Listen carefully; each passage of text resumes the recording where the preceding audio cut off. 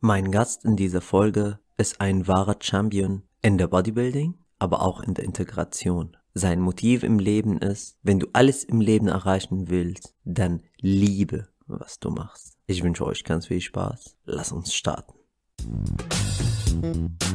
Deutsch Arabisch ist ein Podcast für jeden, der Deutsch und Arabisch mag. عربي ألماني بودكاست لكل شخص بحب اللغة العربية والألمانية Hallo und herzlich willkommen, liebe Leute. Schön, dass ihr eingeschaltet habt. Heute mal wieder eine neue Folge auf Deutsch. Und zwar eine Folge auf Deutsch mit einem syrischen Gast, der aber richtig mächtig in der Sprache ist. Ihr werdet gleich äh, auch selber hören. Und mein Gast ist nicht nur mächtig in der Sprache, sondern der ist mächtig auch körperlich. Sprich, der hat mehrfach in Deutschland Meisterschaften gewonnen und äh, richtig eine sehr coole Karriere in dem Bereich hingelegt. Und aber davor oder bis zum Weg dahin ist er viele Hürden und Hindernisse begegnet. Nichtsdestotrotz hat er alles, genau wie beim Bodybuilding, sehr gut mit links gemeistert.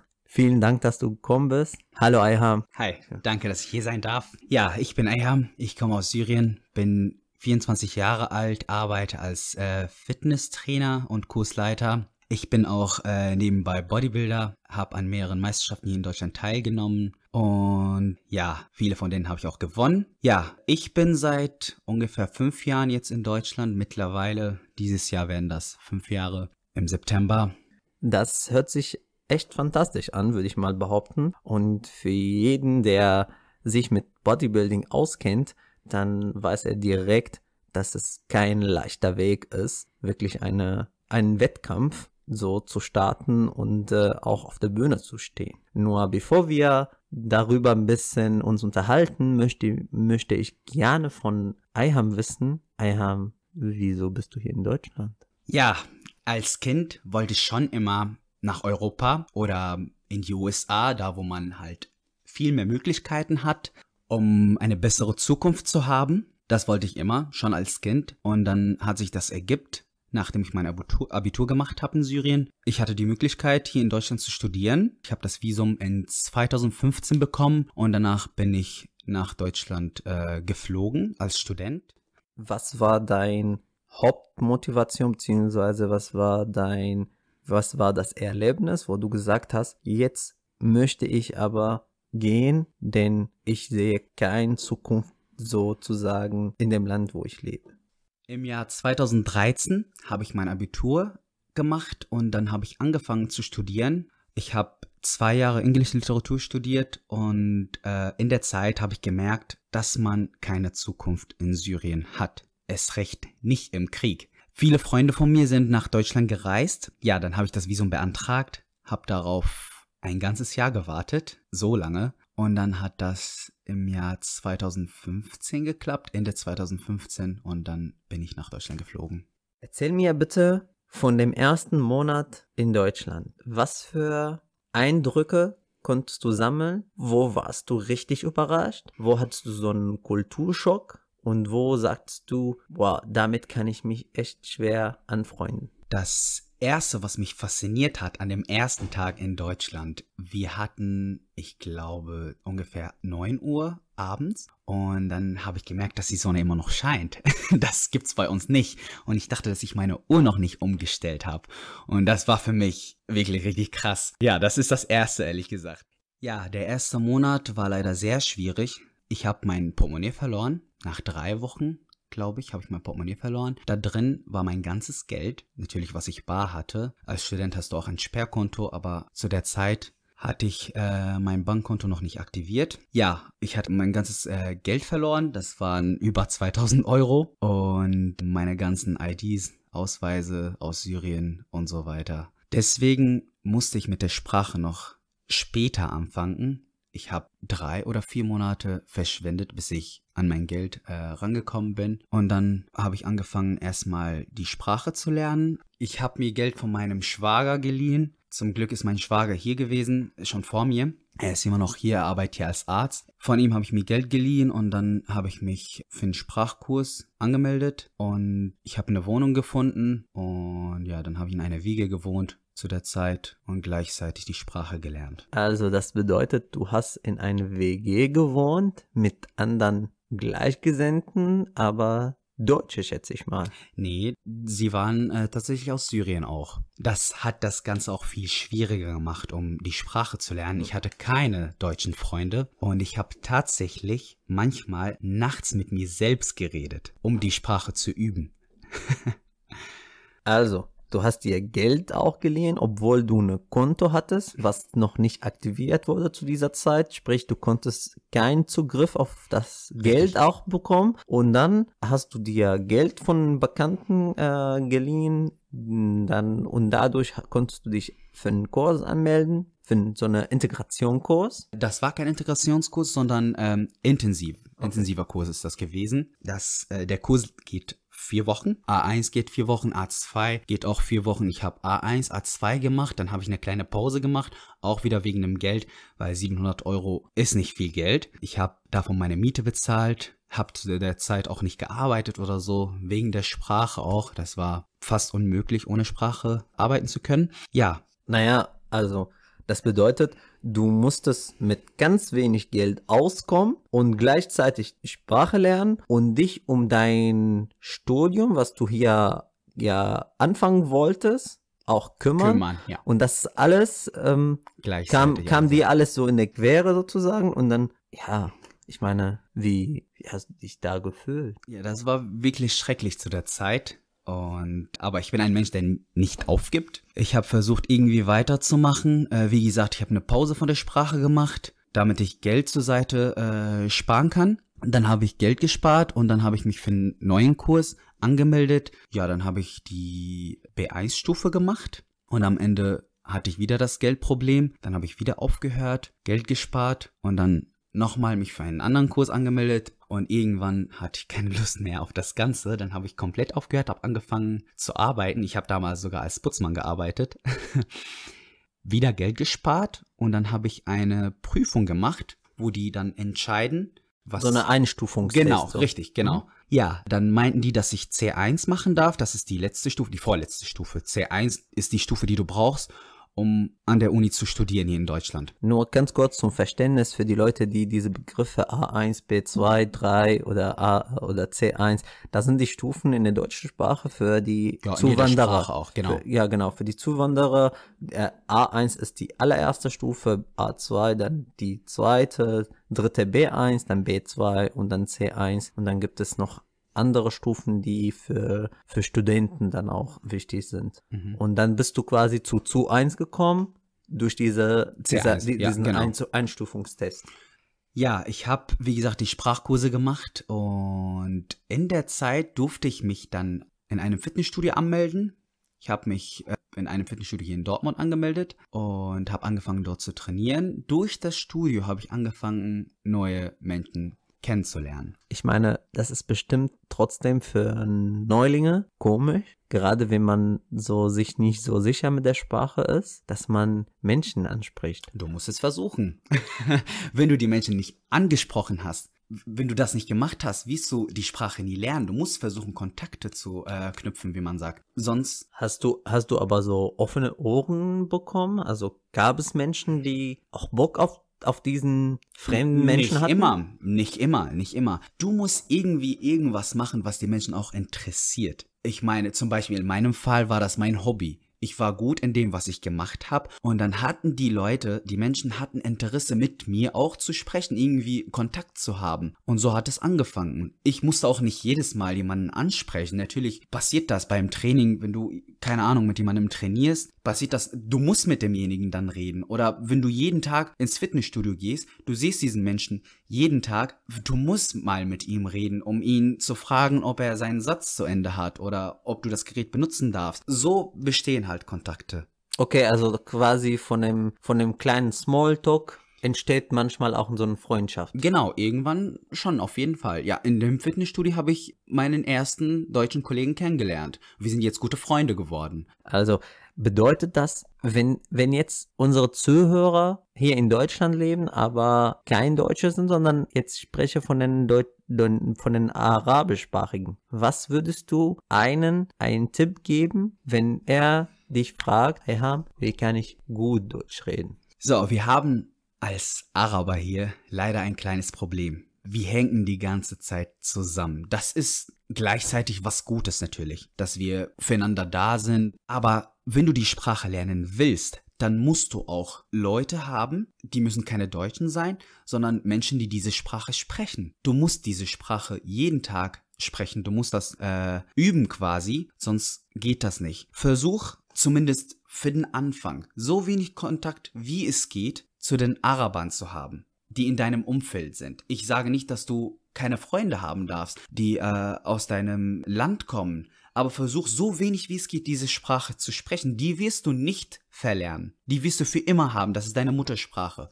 Ja, und äh, so habe ich das zumindest gemacht. Ich habe ja überall jetzt Freunde aus Syrien, aus äh, anderen Ländern auch, die kein äh, Deutsch sprechen oder, oder wenig Deutsch sprechen. Die sind immer noch meine Freunde. Aber zu der Zeit, wo ich die Sprache lernen wollte, habe ich an mich gedacht und habe versucht, so viel wie es geht, Kontakt zu den Leuten, die Deutsch sprechen, zu haben. Und dadurch habe ich die Sprache schneller gelernt. Natürlich habe ich auch gearbeitet, auch äh, zu einer bestimmten Zeit, als ich meine Arbeitserlaubnis bekommen habe. Ich habe ja Asyl beantragt äh, für eine Zeit lang durfte ich nicht mehr arbeiten. Ja, und irgendwann habe ich meine Arbeitserlaubnis bekommen, dann habe ich angefangen zu arbeiten durch die Arbeit. Ich muss viel Kontakt zu den Menschen auch haben, viel mit den Menschen reden. Dadurch habe ich auch die Sprache schneller gelernt. Darauf möchte ich ein bisschen zum Sprechen kommen. Und zwar, du hast ja gerade gesagt, dass du erstmal als Student hier hingekommen bist und dann hast du ein Asyl beantragt hier in Deutschland. Mhm.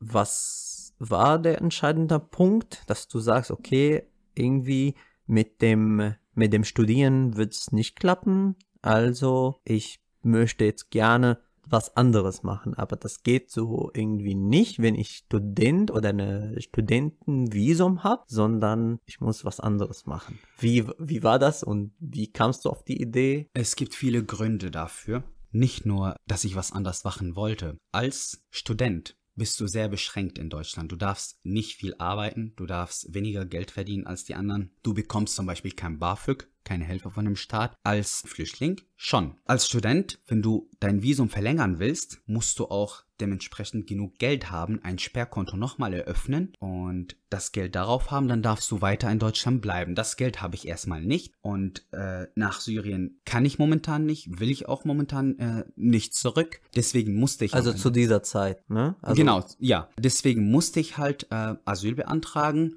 um irgendwie hier bleiben zu dürfen. Und deswegen habe ich Asyl beantragt. Dass ich nicht studiert äh, habe oder nicht mehr studieren möchte, erstmal. Ähm, der Grund war nicht nur der Sport. Ich habe mich in, in Bodybuilding gefunden.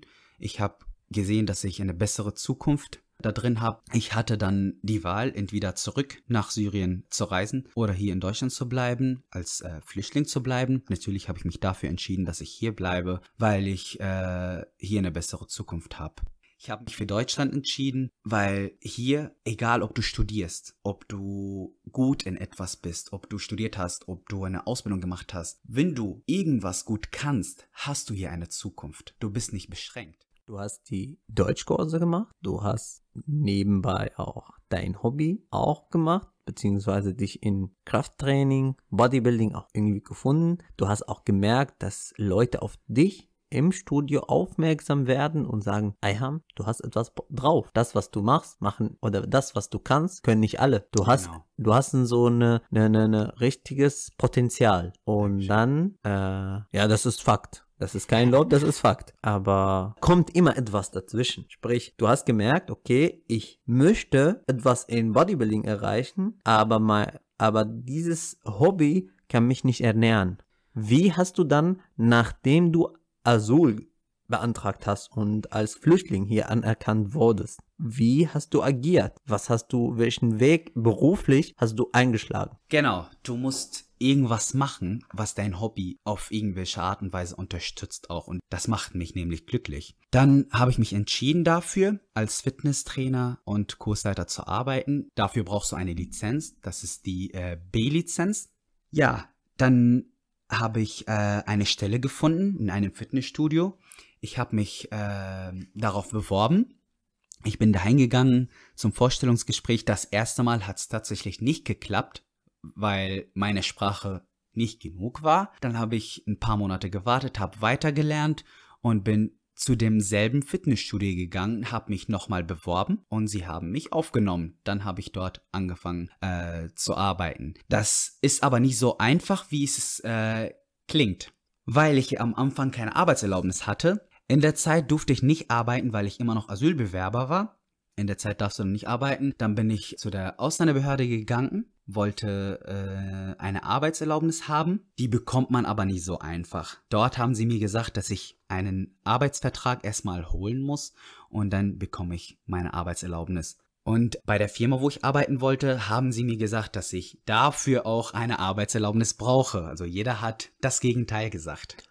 Okay, das bedeutet, du hast den äh, Asylantrag gestellt. Genau. Aber dann quasi hast du nicht direkt eine Zusage bekommen oder eine Genehmigung, mhm. sondern musste man warten. Genau.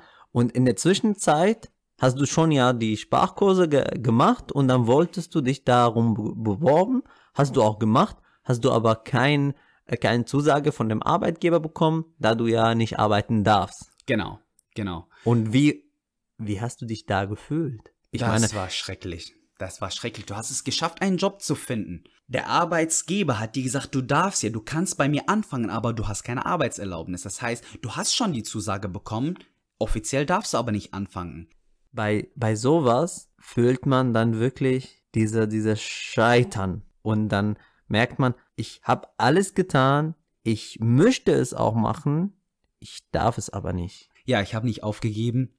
Ich bin zu der Ausländerbehörde mehrmals gegangen, habe meine Arbeitserlaubnis beantragt. Das wurde abgelehnt, mehrmals. Am Ende habe ich irgendwie meinen Arbeitsgeber dazu gebracht, mir den Vertrag zu geben, zu unterzeichnen zu lassen, ohne dass ich die Arbeitserlaubnis habe, damit ich überhaupt die Arbeitserlaubnis von der Ausländerbehörde bekomme. Und nachdem das geklappt hat, hat mir die Ausländerbehörde gesagt, wie wagst du es, einen Vertrag zu unterzeichnen ohne dass du eine Arbeitserlaubnis hast. Also das war alles so irgendwie äh, Rumba Zumba würde ich genau, mal behaupten. Genau, genau. Erstmal sagen sie mir, du brauchst einen Arbeitsvertrag, um die Arbeitserlaubnis zu bekommen und am Ende habe ich den Vertrag gehabt.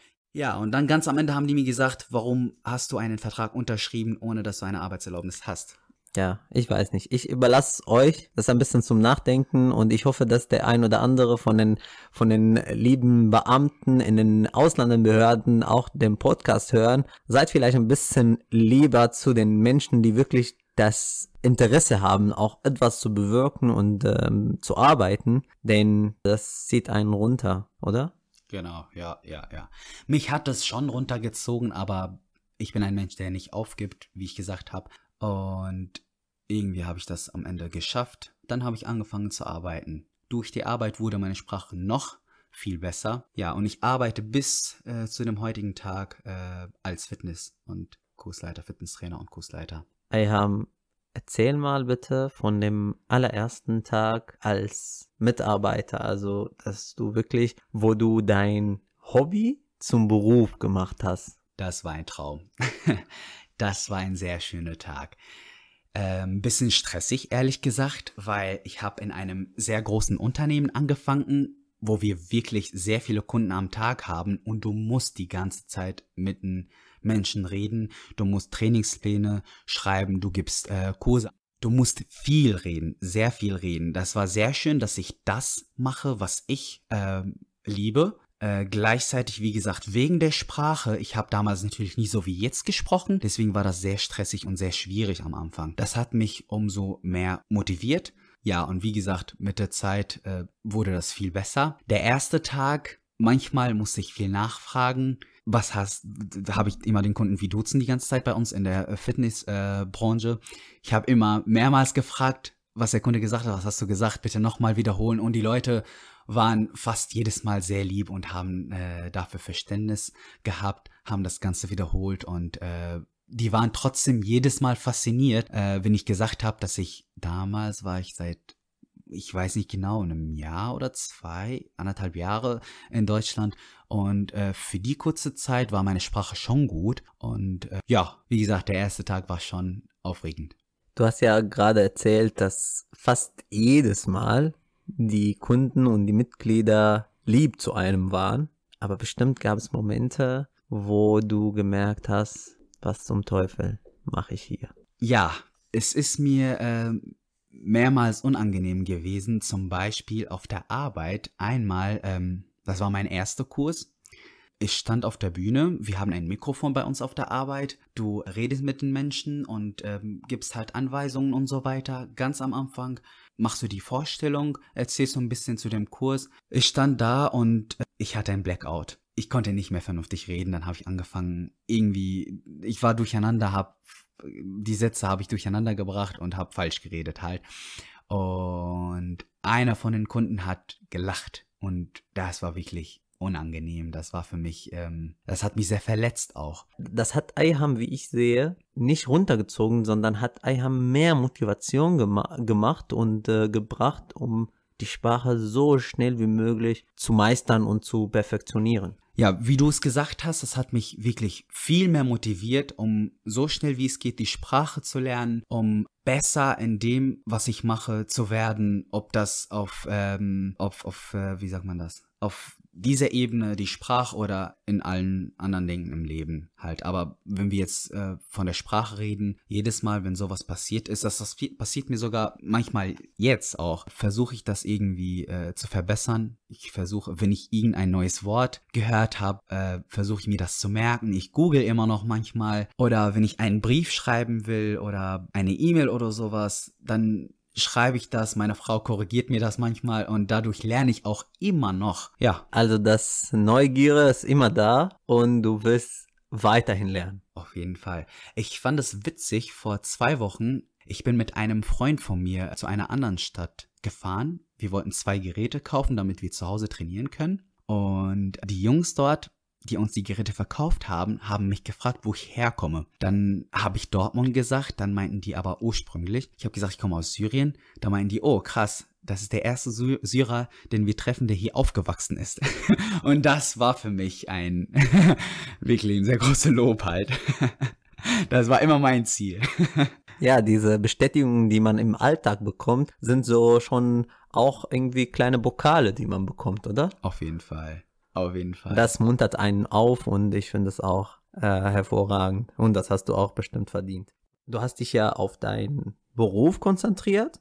Du hast versucht, auch in dem Bereich weiterzukommen. Aber dein Hobby, deine Leidenschaft ist im Auge geblieben. Auf jeden Fall. Du hast alles weitergemacht. Mhm. Wie ging es da weiter. Eiham als einfach normal Trainierender und dann Eiham als Amateur in dem Bereich und so weiter und die komplette Karriere. Erzähl mal. Ja, das hat so angefangen, dass äh, mich in einem Fitnessstudio auch einer angesprochen hat, der sah wirklich sehr gut aus. Ich wollte immer wie er aussehen. Er ist jetzt ein, äh, wir sind Freunde geworden sogar. Er war in seiner Vorbereitung für eine Meisterschaft. Ich habe eine Übung gemacht und ich habe die Übung äh, falsch gemacht irgendwie. Dann kam er zu mir, hat mit mir geredet und hat mir die Übung erklärt. Und dann haben wir angefangen zu reden. Dann habe ich ihn gefragt, wie er das Ganze macht und so mit der Vorbereitung, mit der Ernährung, mit der Diät und so weiter. Und dadurch habe ich angefangen zu lernen, wie man sich vernünftig ernährt, wie man richtig trainiert und so weiter. Ja. Nur damit wir den Leitfaden nicht verlieren. Das war aber bevor du Fitnesstrainer geworden bist. Das war bevor ich Fitnesstrainer geworden bin, das stimmt. Ja, ich war, ich habe damals die Sprache gelernt, auch im, ich hatte die äh,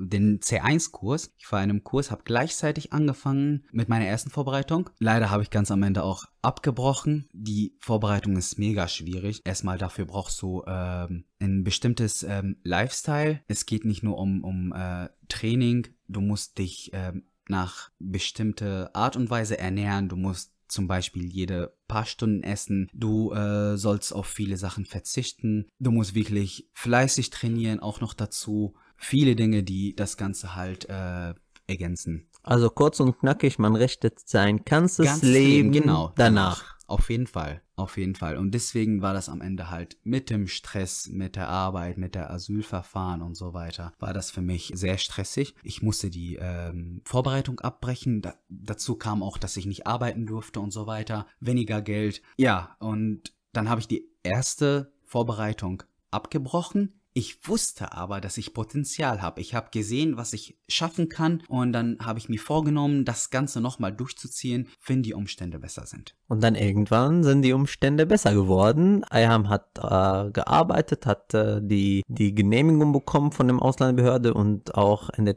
Zwischenzeit auch irgendwann äh, quasi seinen Asylbewerberantrag schon genehmigt bekommen und dann wollte Ayham schon starten. Mhm. Erzähl mal davon. Wer Ja. hat dich äh, unterstützt und äh, wie ging's dir dabei? Am Anfang habe ich nicht so viel Unterstützung bekommen von den Leuten, die äh, um mich herum waren. Ich habe das Ganze alleine gemacht. Ich hatte keinen Trainer. Ich habe äh, alleine gelernt, ausprobiert, alleine trainiert, mich irgendwie habe versucht äh, zu wissen, wie ich mich am besten ernähren kann, was ich zu mir nehmen sollte, was nicht und so weiter, was Ernährung angeht. Das war sehr schwierig, weil ganz am Anfang glaubt was keine, fast keiner an dich. Wenn du es aber geschafft hast einmal, dann kommen alle an. Leider ist das ein Fakt.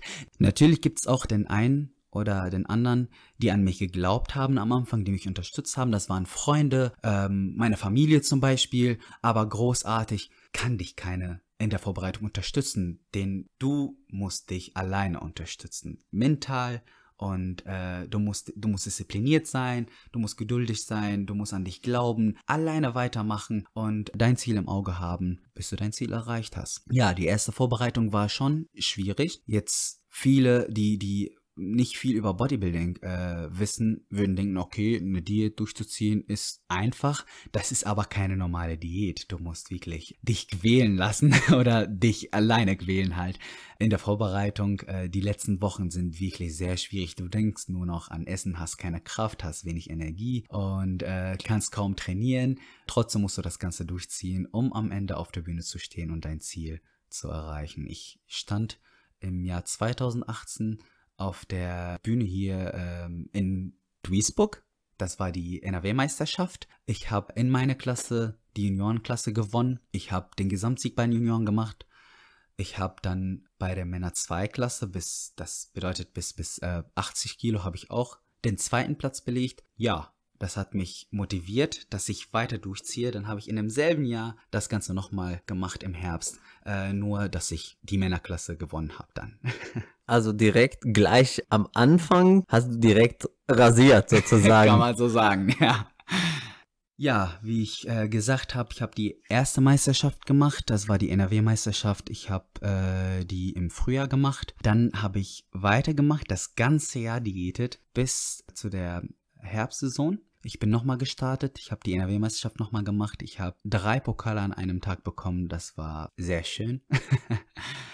Ich muss nur ganz kurz was ergänzen. Und zwar bei Bodybuilding geht es darum, nicht Kilos zu verlieren, sondern Körperfettanteil, bestimmten Körperfettanteil zu erreichen. Und dieser Körperfettanteil, die man an dem Tag X hat, es ist wirklich unter dem normalen oder beziehungsweise gesunden Bereich. Und so müsst Genau. ihr euch das Ganze vorstellen. Ich würde auf jeden Fall seine Accounts auf Instagram in den Shownotes verlinken, so dass ihr auch vielleicht sein Körper und sein, äh, ja, sein Werk sozusagen, was er in sich gemeißelt hat, schauen könnt.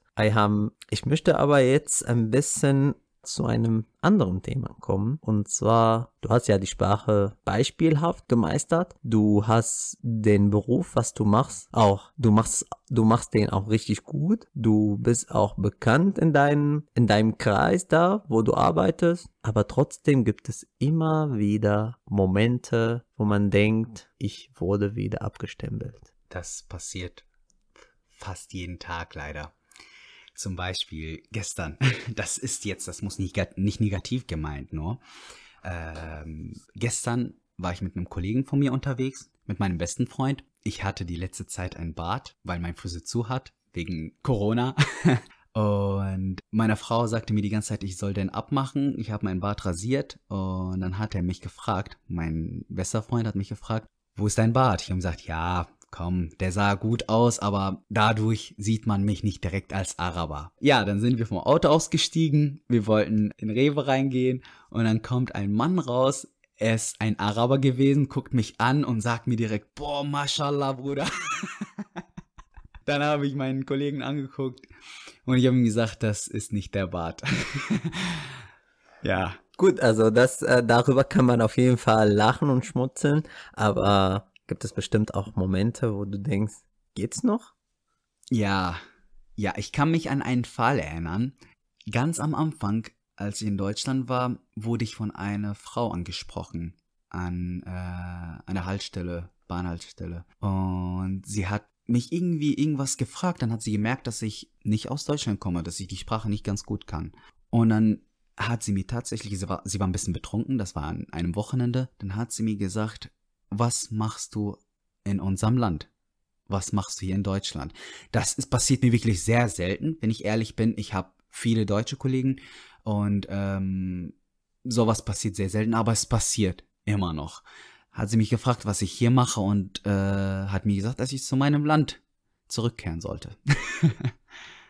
Schön, dass du noch darüber lachen kannst, obwohl es nicht zum Lachen gibt, aber ich glaube, du bist auch sportlich und du nimmst es auch sportlich an irgendwie. Genau so.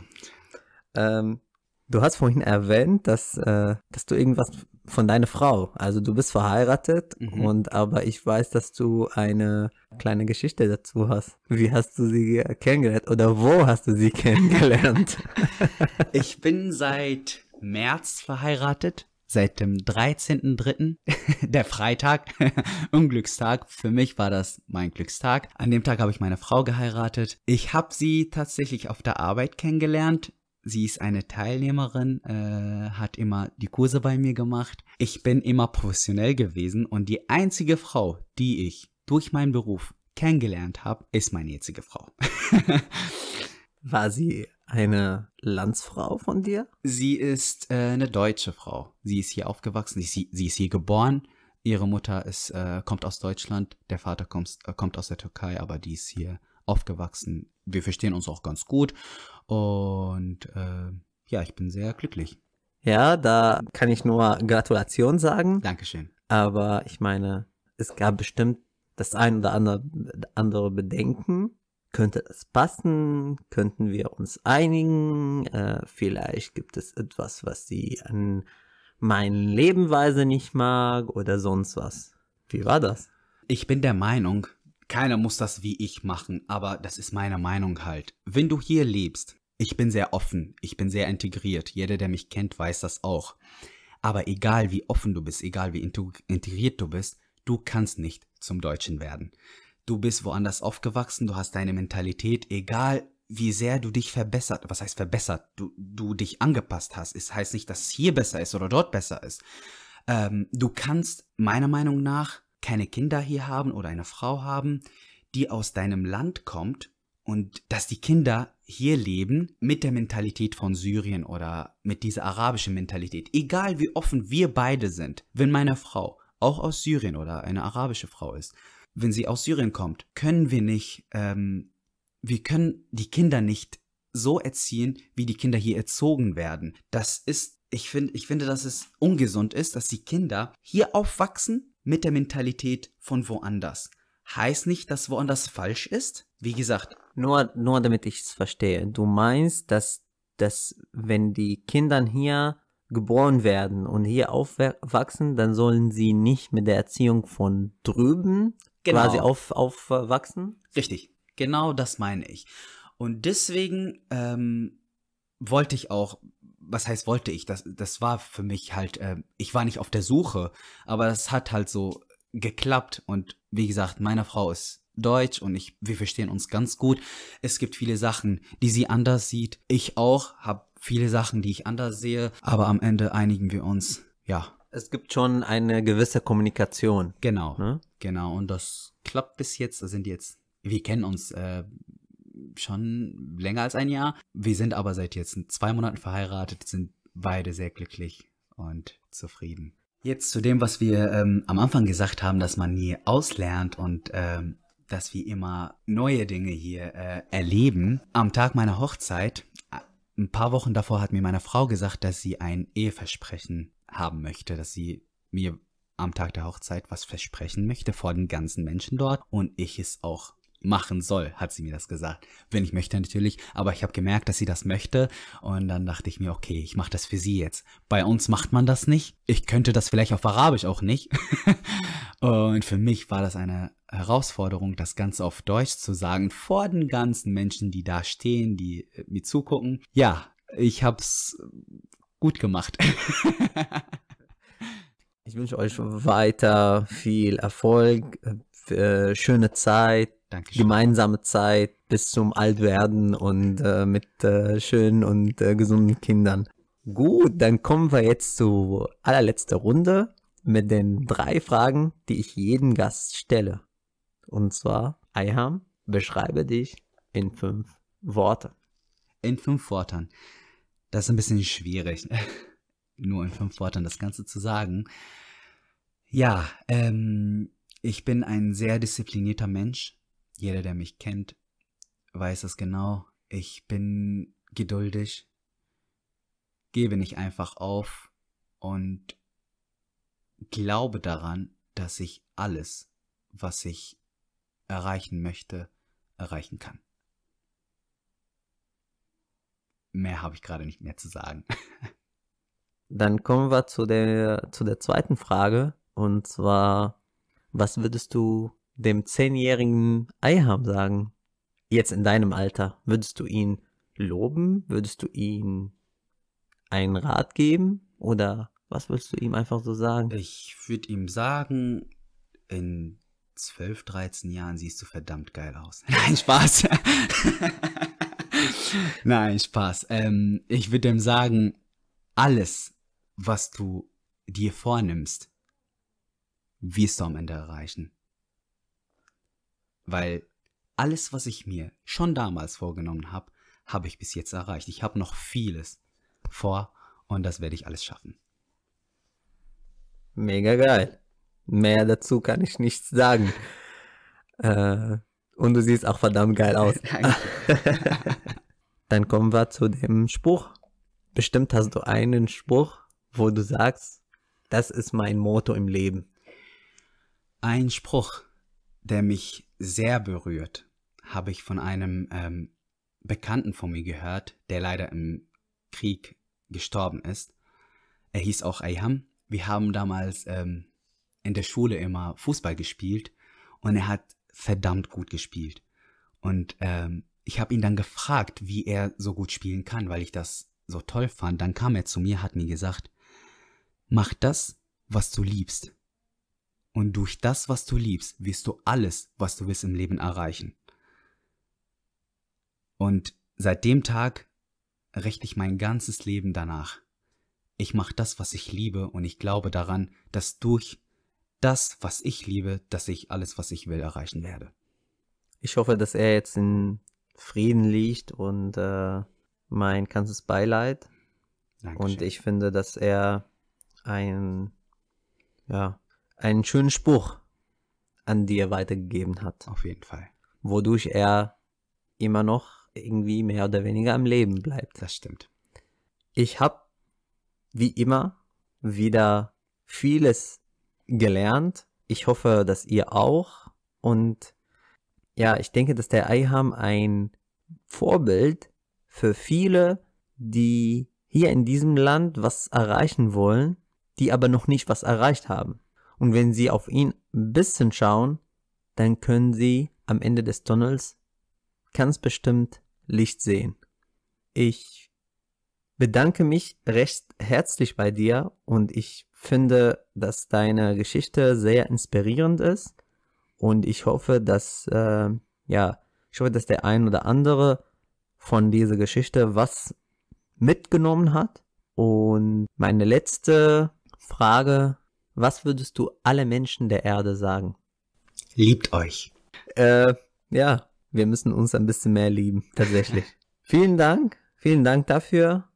Schön, dass ihr mit dabei wart. Schön, dass ihr die Folge bis zum Schluss mitgehört habt.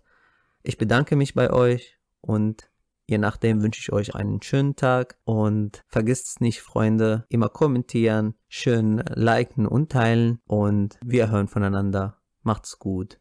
Bis zum nächsten Mal. Peace. Das war's schon wieder mit Deutsch-Arabisch. Bis bald. كان معكم عامر في عربي ألماني استنونا بالحلقات الجاية